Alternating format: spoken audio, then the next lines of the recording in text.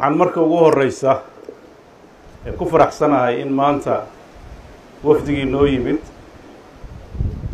aan qado ugu sameynay biyo kulule oo runtii taariikhdeeda iyo heerarkay soo martay uu ugaas xasan ka sheekeeyey waa goob ku habboon dad la jecel yahay in lagu marti qaado. Marka soo dhowaada meeshii ugu wanaagsaneed aan haysanay baad maanta fadhidaan waxaan rajeynaynaa inaad ka heli doontaan.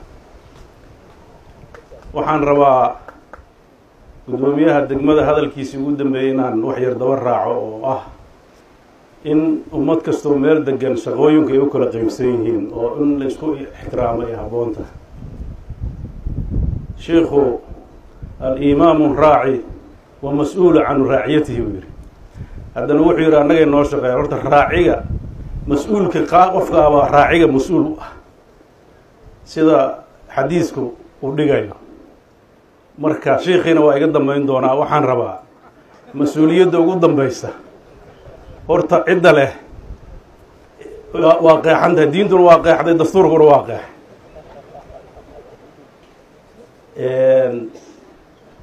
Wa ulul amri minkumna.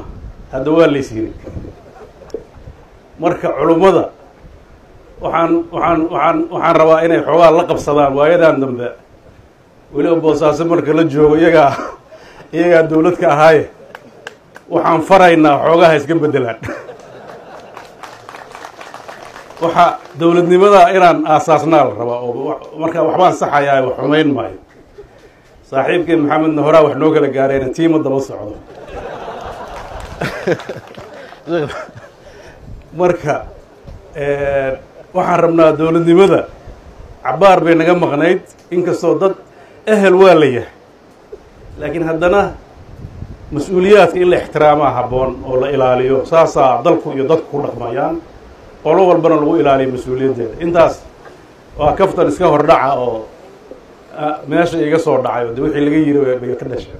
Intaa markaan ka tago soo dhoweynta wafdiga runtii macnay ku fadhidaa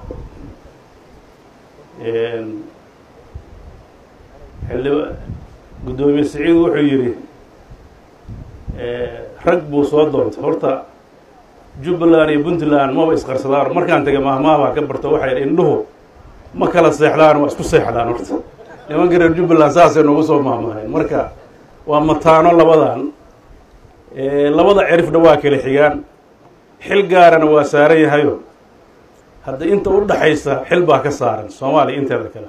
Mar hadday labadii daraf jiraan wanaag baana xil uga saaran yahay inay horumarka iyo ay dhaqaan waana rajaynayaa reer puntland iyo reer jubbaland iyo soomaalida kaleeto oo dhanba culays baa haysta soomaali oo hadda ciday inkiri mayso.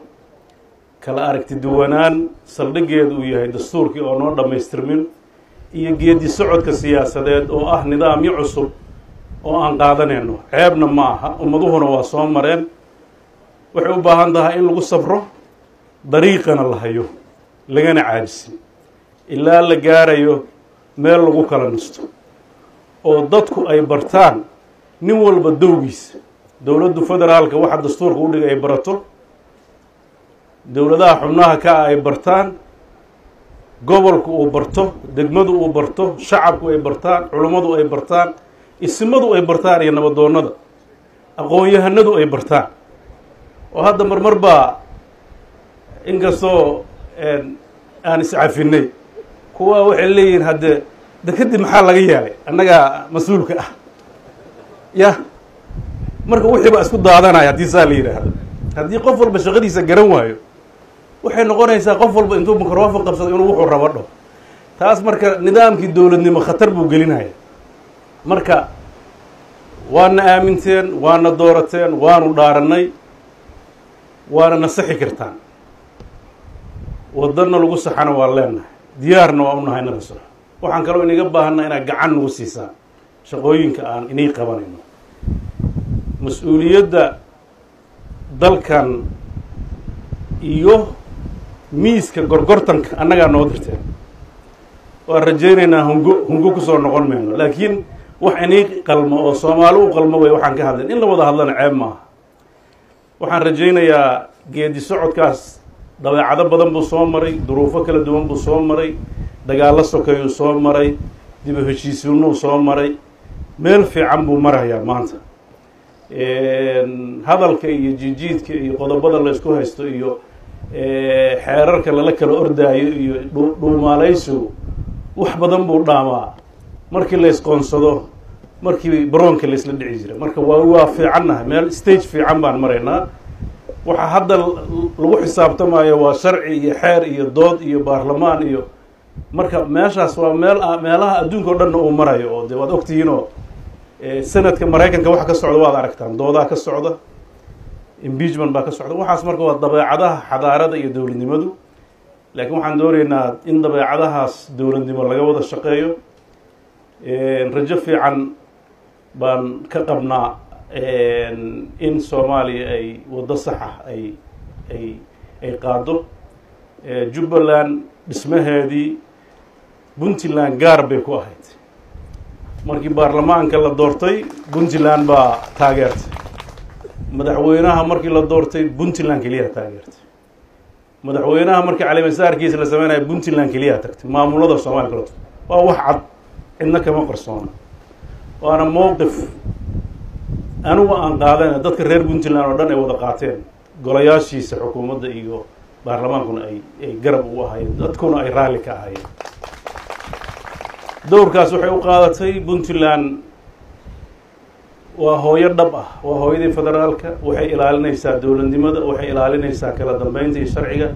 Nidaamka federaaligaana abukaati u tahay waa u doodeysaa qof kasta oo kursigan ku fadhiyana xil baa ka saaran ilaalinta nidaamka federaalka. Waynu garanaynaa waddanku markuu centralized ahaa oo xataa nidaamka siyaasiga dadkii dhulkan u dhashay ay madaxda ka ahaayeen dhulkan siduu u ekaa waad garanaysaa. Dowladdii koob iyo labaatanka sano keliya ma aha tii ka horreysay xataa. Waxaa ka hirgelay waad garanaysaa puntland xeebaheeda iyo degaanadeedu waxay ka fiicnaayeen boqol iyo konton sano laba boqol oo sano ka hor ayaa ganacsiga noloshu ka fiicnaan jirtay markii soomaaliya dowladda noqotay. Taariikhda dib in loo raacaa fiican. Xeebahan oo dhan baa wada carmirnaan jiray. Dalka soomaaliya meesha isku xirta dunida inta kale ahaayeen. Taariikhda saad ku haysaan dadka degaanadan waxay lahaan jireen doonyo waxay lahaan jireen ganacsi waaweyn oo isaga goosha indiya iyo bershiya iyo africa inteeda kale. Markii dowladdii ay dhacday indheergaratii iyo dadkii aqoonta iyo lahaabaa xamar aaday inkastoo xilliyadii talyaanigu u qabsaday isaga naftarkiisa siyaasadaas qeyb ka ahaa oo dadkii indheergaradka ahaa uu raray oo uu geeyey koonfurta soomaaliya dadkii kaleetana ay ka daba tageen laakiin xilligii gacaanka indhahayba isku sii qabsatay waad ogtihiin oo nidaamkii ganacsi ee waktigaa jiro o dhan baa la xiray marsooyinkii oo dhan baa awdmay. Waxa maanta la haysto waynu garanaynaa soddonkaas sano ayaa isbeddelka maanta puntland ka jira uu ka abuurmay oo dadkiisu isbedeleen muuqaal ahaan iyo dhaqaale ahaan iyo caafimaad ahaan iyo tacliin ahaan. Degaanada maanta puntland oo dhan meesha ugu yar herstbos baa ka jira. Haddaan m m c h dhakhtar ka jirin. Meelaan iskuol ka jirin ma jirto. Meelaan biyo intooda badan. Saddex boqol iyo dhowr iyo labaatan xarumood oo caafimaad baa ku yaalla degaanka puntland. Ardada dhigata puntland saddex boqol oo kun bay ku dhowdahay markii la soo qaxayo dhowr boqol oo qof be marka waa garan kartaan isbeddelka dhacay. Dhaqaale ahaan bulsho ahaan iyo deganaansho ahaan. Marka waxaa la ilaalinayo waa maslaxadda dadka iyo dalka.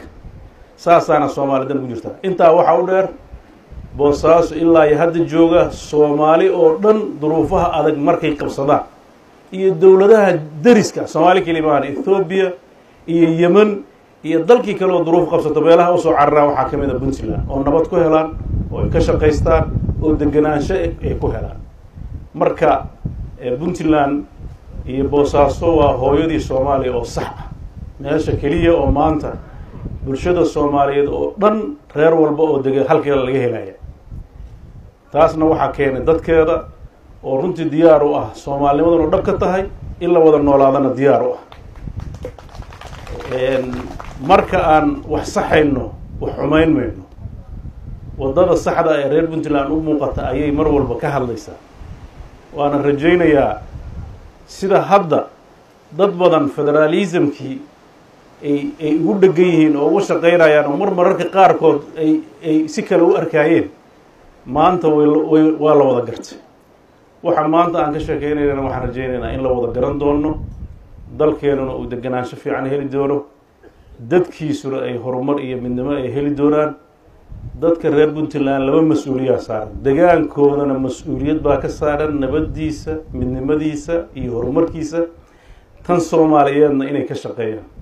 Laakiin intaad taada ilowdo maanta dhan soomaali maqan. Haddaa ku haysid iyo shantii soomaaliyeed baa maqan. Maalin walbana halka dadkii degaanadeena jidadkii baa xumaaday dekadii yareyd baa baaba-day dadkeennii baa mararka qaarkood ee nimanka buurahan ku dhuumaalaysanaya waad ogtihiin dadka heerka ay gaarsiiyeen nafsiyan. Kulankan kulankii ka horreeyay halka markaan ku qabanayni dadku waxay igu yidhahdeen war kul biyo kululaha geyn waa khatar. Haddaa annagu baqno ya waa khatarteeda leedahay. Waxaa la rabaa dalkan nabad baa ka jirta. Dadkiisuna waxaa la rabaa inay iyagu nabadda ka shaqeeyaan. Qofka ku soo dhuumaalaysan dadka aan magangelyada siinay oo nabadda siinay oo nala nool inay dadka qaxiyaan oo wanaagiisa aynan ka shaqeyn sax maha marka taasna waxay u baahan tahay maamulada iyo dadka ka shaqeeya in ay bulshada ay ku wacyigeliyaan nabadda in laga wada shaqeeyo. Waxaan rajaynayaa inaan mid baan nahay laba yaan laga kala dhigay marmar baa dadku iskala saarayaayo waxaa moodaa koox dowladdana dad laga dhigayaa. Dad kaleetana dad kale iska dhigaya war dad qoreenuna dan isku midaan leenahay degaan baan wada degnaa.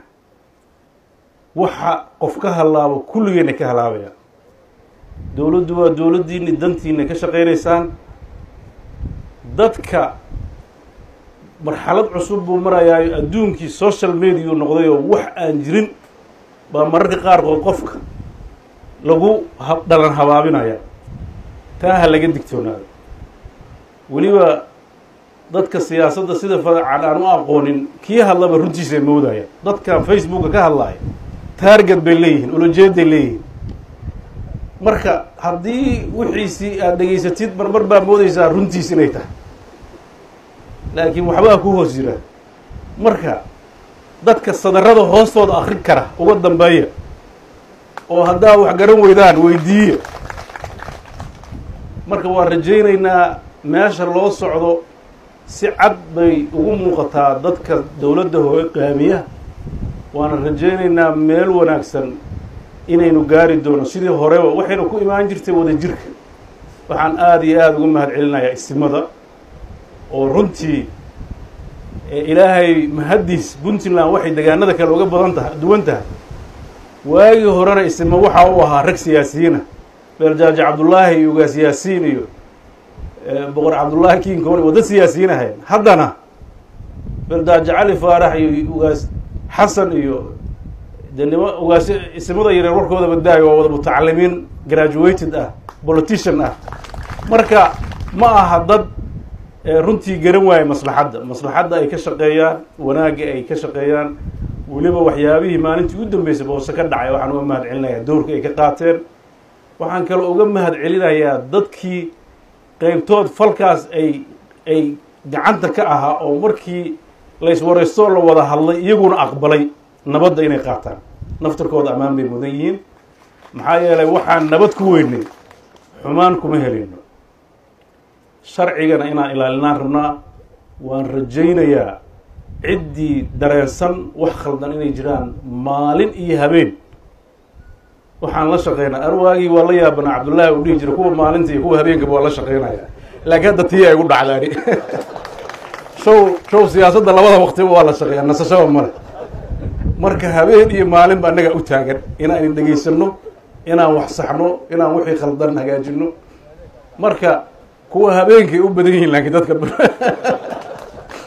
marka habeenkiina diyaar ayna nahay. Saacad kasta oo aadna dalabtaan waana dhegaysanaynaa wax kasta oo u aragno inay danta ku jirtana diyaar baan u nahay inaan wax ka qabanno.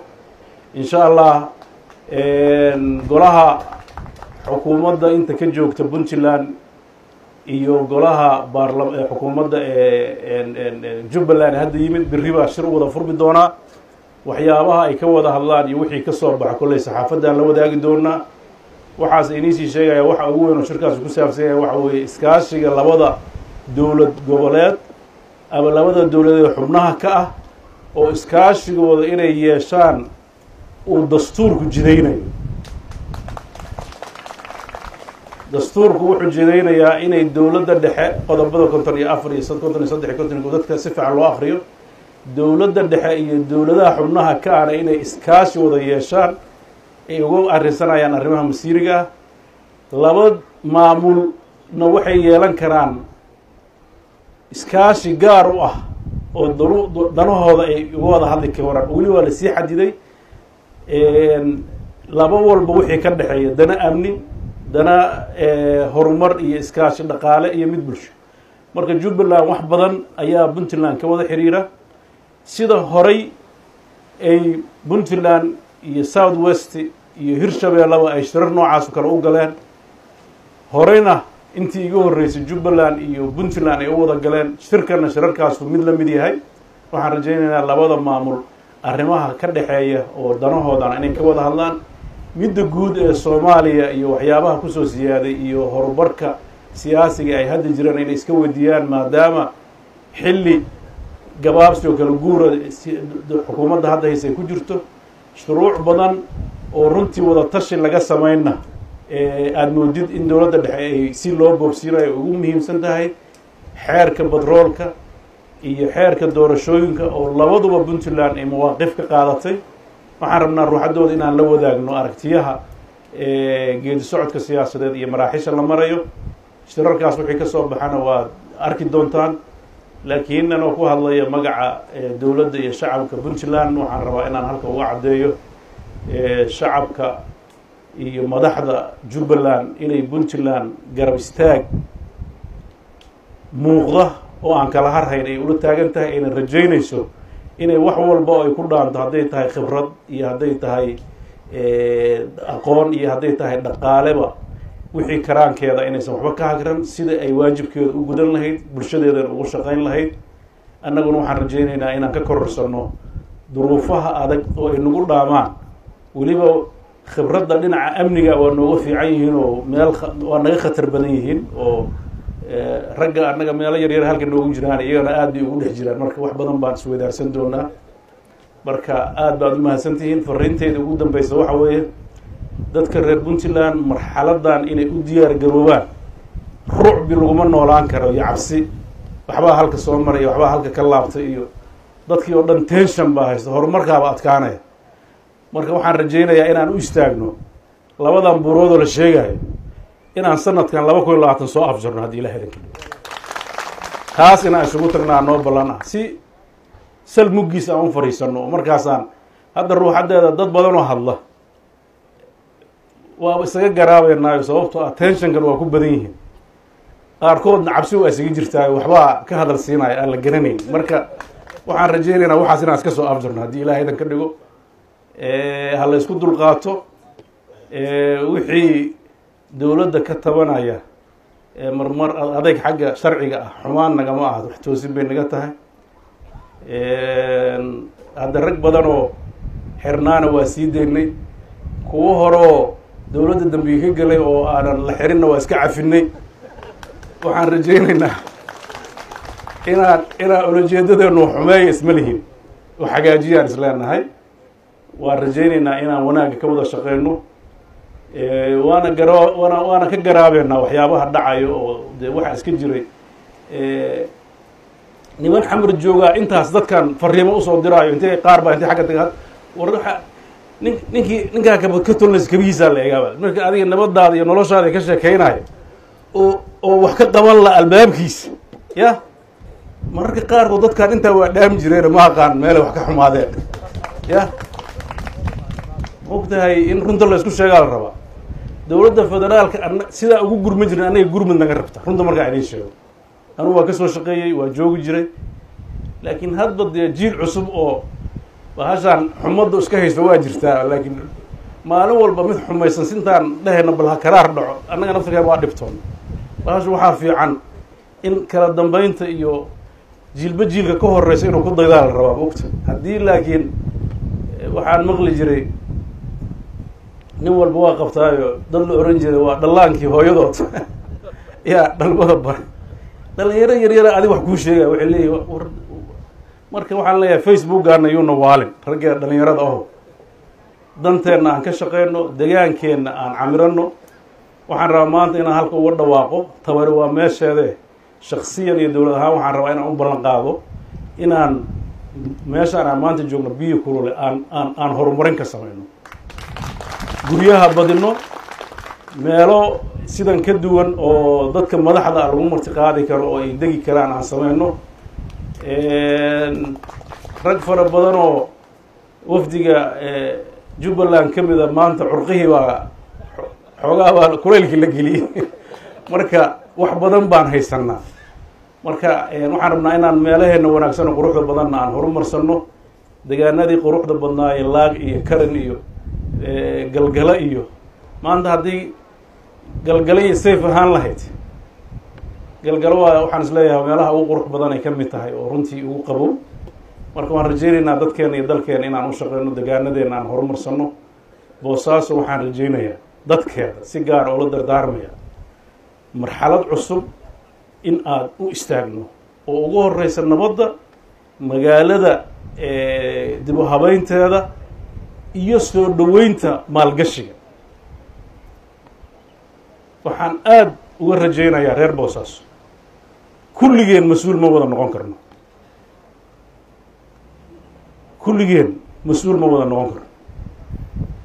Haddee hal nin baan ogaan jiray xil gaar ay saari jiray allahu naxariista nin dekeda joogi jira wuxuu dhihi jiray maxagaa bixi karo cidaan ku aaminaan la ahay dekeda marka dekedaan odayaasha dhan ay leeyihiin nimaan ku aamino male war meeshaan iyo ka badanaa nagu aamina nagu aamino horta.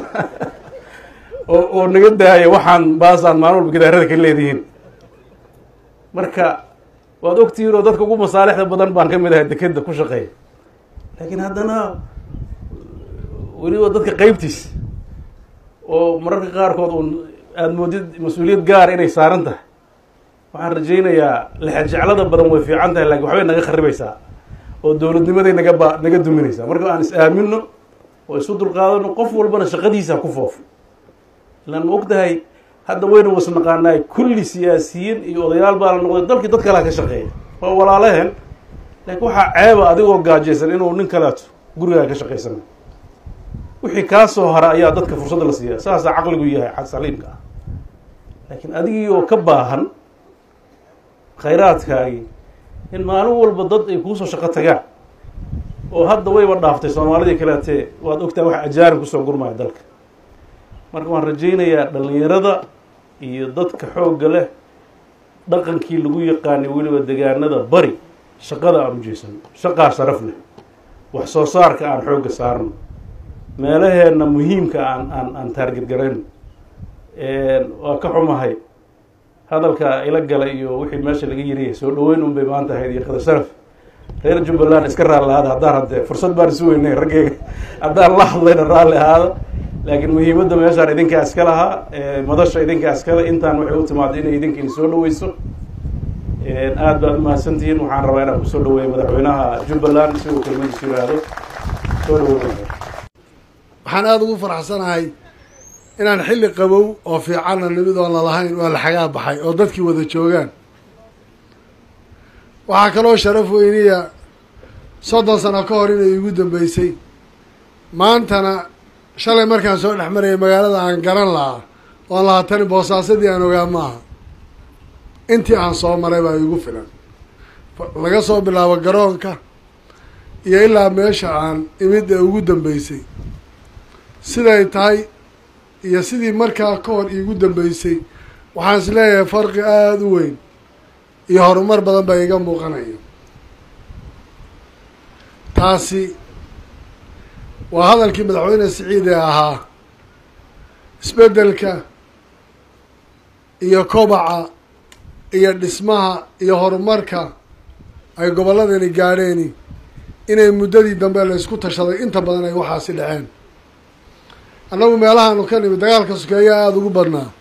Laakiin boosaaso dagaal kama dhicin waagii aan inta yare dekadda isku yara qabsanay baa ugu dambaysa waan maray. Dagaal ka dambeeye kama dhicin. Mar baa wax yaroo kaloo tuurtuuriyaa jirtay. Nabaddu waxbay dhistaa. Horumar bay leedahay. Inay dadku isku tashadaan ooy wax qabsadaan oo waxa dantoodu tahay iyagu ay ka tashadaanna guul iyo wax badan bay u tahay.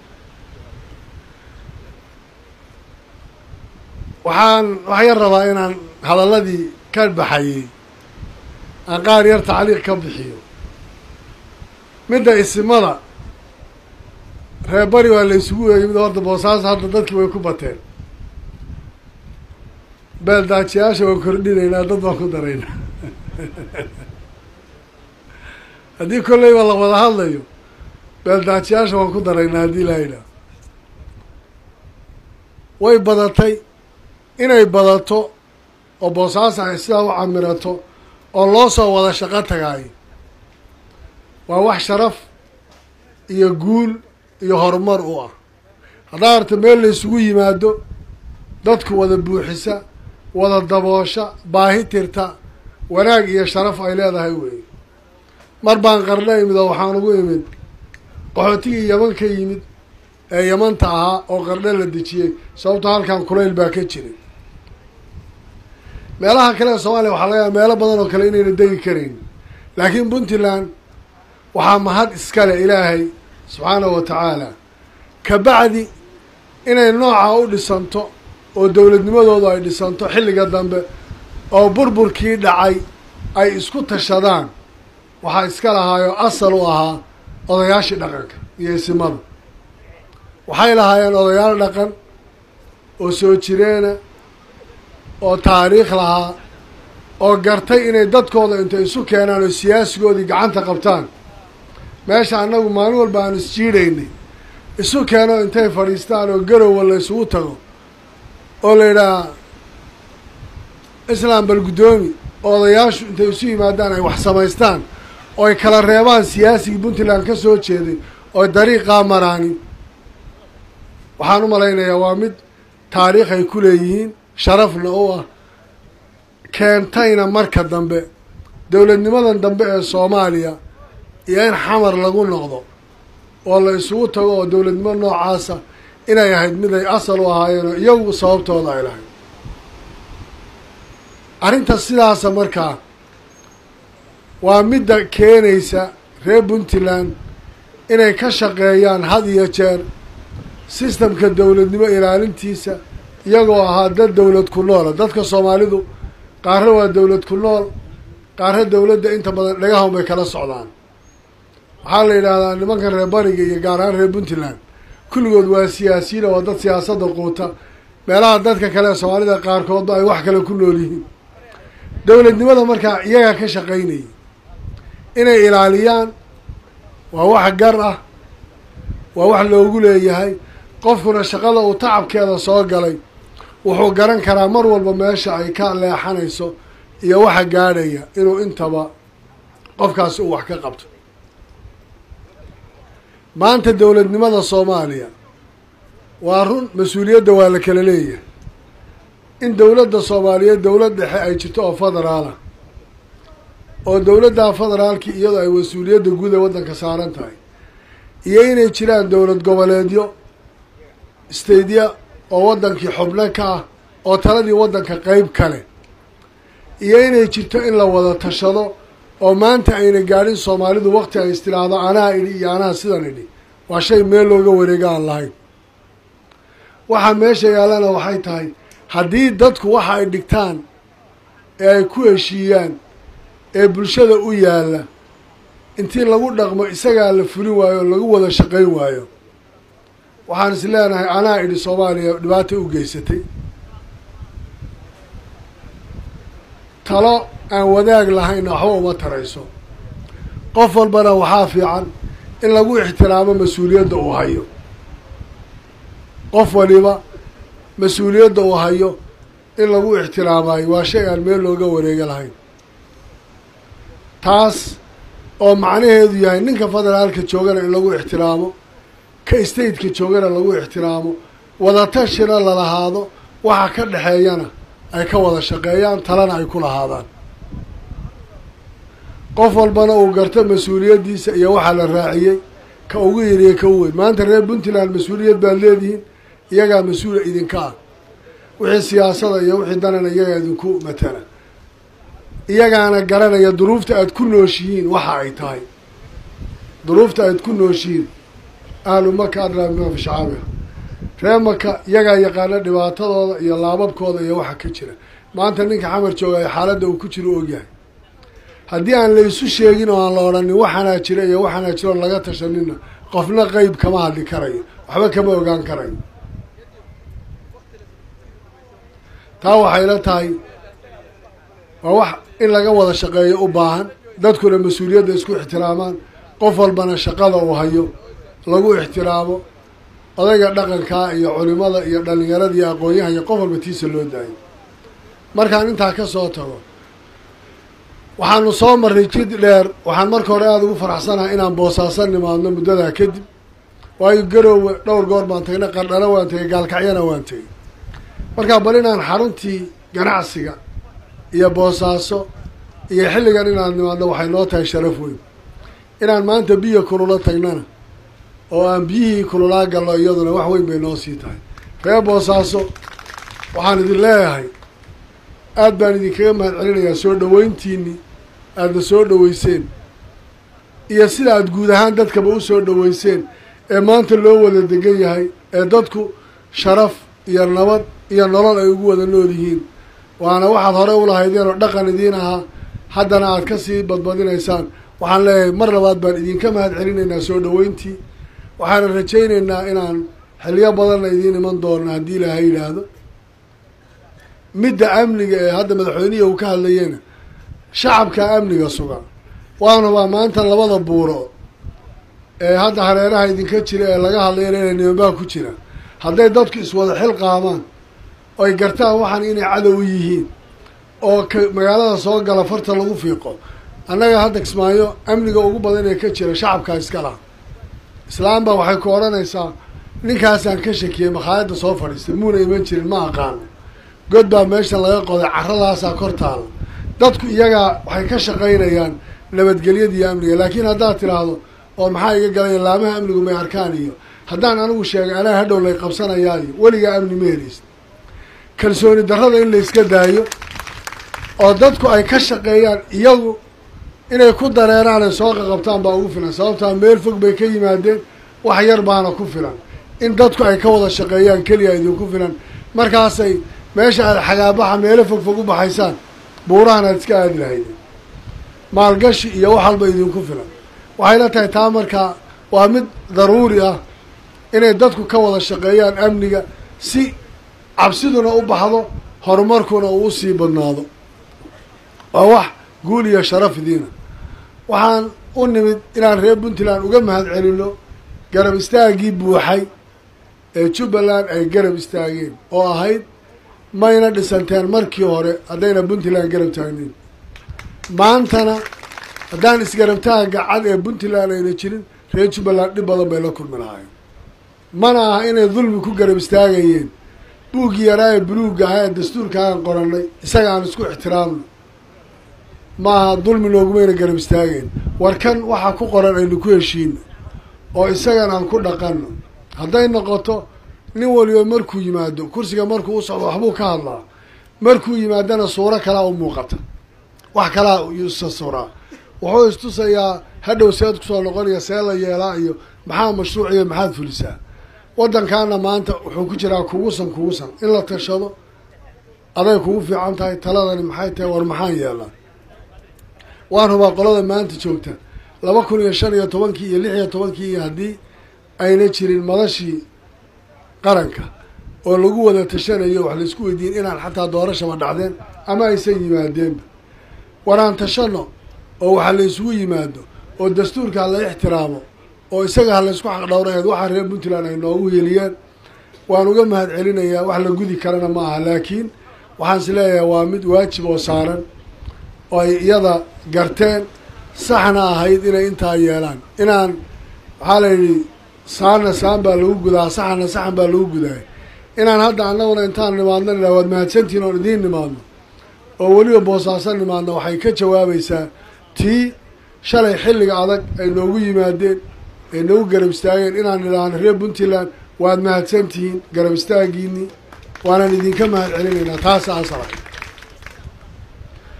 waxaan rajaynayaa ma diidanin dowladda soomaaliya ma diidanin soomaali isku duubnaata ma diidanin soomaali wax qaybsata ma diidanin inaan u hoggaansano shuruucda waddanka laakiin waxaa asala waxa aan ka shaqaynaynaa inay noqoto wax sharciga ku qotoma dadku isku ogyihiin laga tashado taasaanan ka tashan doonaa haddii ilaahay yidhaahdo ama labada state ha noqoto dantooda ama midda guud ee soomaaliya ha noqoto ama aragtida noo soo baxaysa ha noqotay waxaan rajaynayaa wixii ka soo baxa inaan waktigeeda sheegi doono haddii ilaahay yidhaahdo